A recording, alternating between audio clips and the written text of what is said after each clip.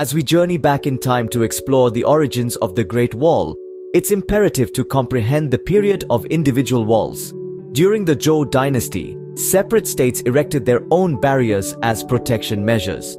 These walls, constructed from readily available materials such as rammed earth and wood, were primarily designed to fend off and raids from neighboring states and wandering tribes. This epoch highlighted the start of what would later evolve into the Great Wall. While these separate barriers were not as grandiose or extensive as the Great Wall we're familiar with today, they played a pivotal role in molding the idea of a unified defensive network.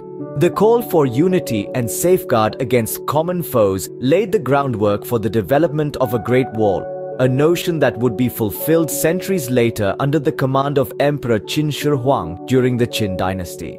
Emperor Qin commanded the linkage of these existing walls and the erection of new sections to ward off northern conquerors. It wasn't until the Ming dynasty, spanning from the 14th to the 17th century, that the Great transformed into its present form.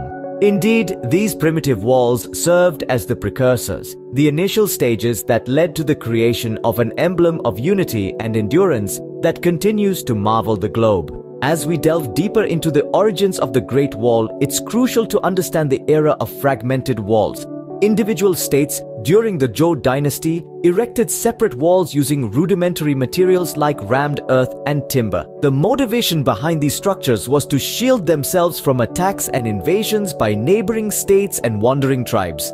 These fragmented barriers laid the groundwork for the idea of a cohesive fortification system which eventually took shape as the Great Wall. These early fortifications represented the initial stages towards crafting an enduring symbol of unity and resolve that continues to captivate the global audience. The notion of a unified wall didn't materialize until the Qin dynasty under Emperor Qin Shi Huang's reign in the 3rd century BC. With his eyes set on a consolidated China, Qin commanded the joining of existing barriers and the erection of new sections to counter northern marauders. The task was labor-intensive and claimed countless human lives. Regardless, the outcome was a formidable defensive structure stretching across thousands of miles, serving as an early emblem of a united China. The Han dynasty continued the tradition, pushing the wall further into the western frontiers. However, the Great Wall as we know it today took shape during the Ming dynasty from the 14th to the 17th century. The Ming emperors, under the constant threat from Mongols, embarked on a colossal project to fortify and lengthen the Great Wall. Instead of rammed earth, bricks and stones were used, making the wall stronger and more durable. Beacon towers and watchtowers were added, serving as communication points and living quarters for soldiers. The Ming Great Wall, stretching over 5,500 miles, became the most robust military defense system of its time. Fast forward to the present day, the Great Wall stands as a symbol of China's historical resilience and architectural prowess. It is a UNESCO World Heritage Site, attracting millions of tourists from around the world each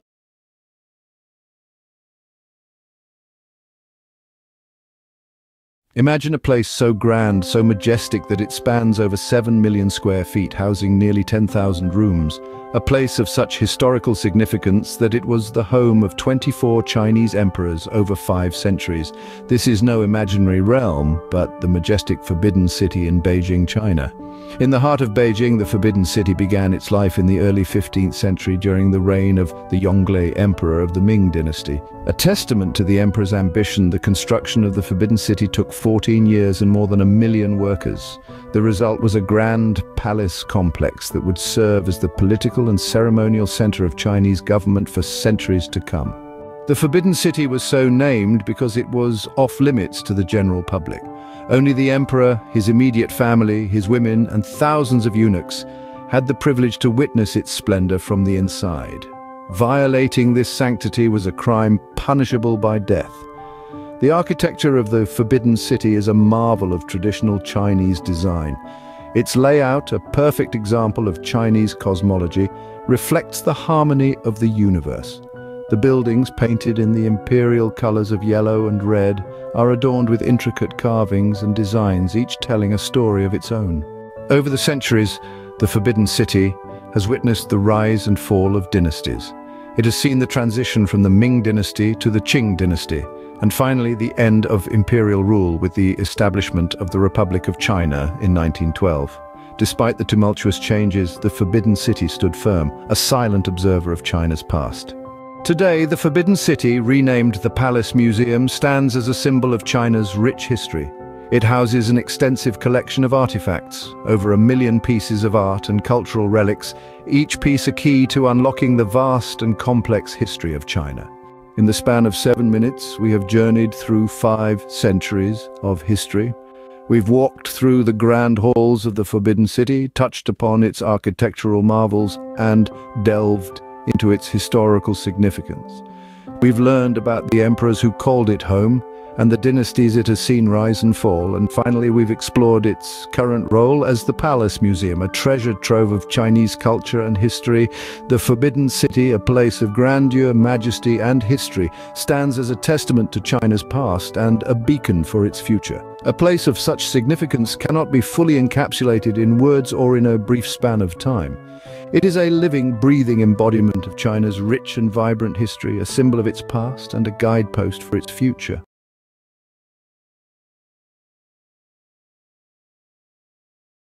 The dawn of the third century. BCE saw the rise of a powerful figure in China, a man whose ambition knew no bounds, Emperor Qin Shi Huang. His reign marked the beginning of the Qin dynasty, a time of great unification and expansion. But perhaps his most enduring legacy lies not in the annals of history, but beneath the earth, a silent army standing guard over his final resting place. This is the story of the Terracotta Army, a monumental testament to a ruler's desire for immortality. Picture a time when China, as we know it today, was divided into warring states. Qin Shi Huang, then known as Ying Zheng, ascended to the throne of the Qin state at the tender age of 13. Through a combination of military might and political cunning, he managed to unify these fragmented territories into one empire, thus earning the title Qin Shi Huang, or the first emperor of Qin. Yet, even as he ruled over this vast empire, Qin Shi Huang was consumed by a fear of death and a quest for immortality. This obsession led him to commission the construction of a grand mausoleum, a project that would take an estimated 700,000 workers and span almost four decades. The centerpiece of this mausoleum? The Terracotta Army, a force of over 8,000 life-sized warriors, chariots and horses, each painstakingly crafted from clay. Remarkably, no two figures are the same. Each warrior boasts unique facial features, hairstyles and attire, reflecting the diverse origins of the soldiers in the Emperor's real army. Buried alongside the Emperor, this clay army was meant to protect him in the afterlife, ensuring his rule extended beyond the realm of the living. But for over two millennia, the Terracotta Army lay forgotten, buried beneath layers of earth and time, until a chance discovery in the spring of 1974. Farmers digging a well in the Xi'an region stumbled upon fragments of terracotta. Little did they know they had uncovered one of the greatest archaeological finds of the 20th century. Excavations revealed the full extent of the Emperor's Mausoleum, a vast necropolis complete with palaces, offices and the famed Terracotta Army. Today the Terracotta Army stands as a UNESCO World Heritage Site, a testament to China's rich history and the enduring legacy of its first emperor. With every figure that is unearthed, we gain new insights into the Qin dynasty, from its military tactics to its artistic practices. In summary, the Terracotta Army is more than just an archaeological marvel. It is a window into the past, a reflection of an emperor's ambition, and a symbol of China's ancient glory. From its creation under the reign of Qin Shi Huang to its discovery in the 20th century, the Terracotta Army continues to captivate and intrigue, a silent sentinel bearing witness to the passage of time. And so, the Terracotta Army stands, ever vigilant, a testament to a bygone era and a monument to an emperor's quest for immortality. As we delve into the annals of history, we can only marvel at the grandeur of this clay army, a testament to the human spirit's capacity for creativity, ambition, and the enduring desire to leave a mark on the sands of time.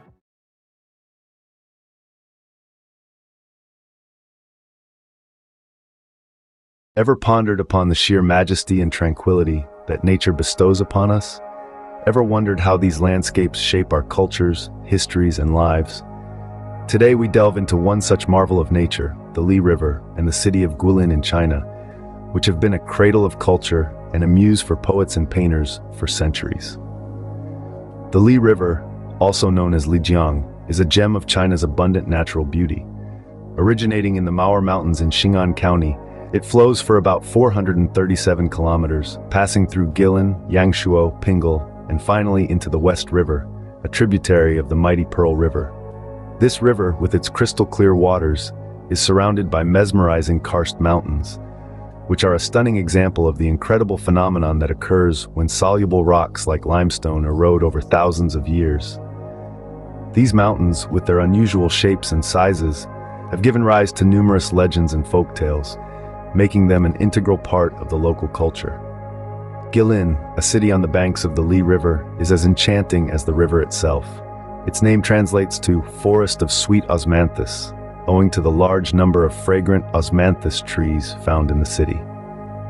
Guilin, with its history dating back to over 10,000 years, has seen the rise and fall of numerous dynasties, each leaving its mark on the city's culture and architecture. The city is home to numerous historical sites such as the Jingjiang Prince City, a Ming Dynasty palace complex, and the Sun and Moon Pagodas, two connected pagodas symbolizing the balance of yin and yang. The Li River and Guilin are not just about the scenic beauty and historical sites. They are also about the people and their way of life. The traditional fishing villages along the Li River offer a glimpse into a way of life that has remained unchanged for centuries. The fishermen, with their gaslit lanterns and tamed cormorants, are a sight to behold as they skillfully catch fish in the river, reflecting a symbiotic relationship with nature. In conclusion, the Li River and Guilin are a testament to the awe-inspiring beauty of nature and the rich tapestry of culture and history. They encapsulate the serenity of the karst mountains, the tranquility of the winding waterways, and the vibrancy of the traditional fishing villages. They offer unforgettable river cruises and scenic hikes, providing a unique blend of natural beauty and cultural heritage. So, the next time you yearn for an experience that transcends the ordinary, remember the Li River and Guilin, where nature and culture intertwine in a mesmerizing dance of harmony.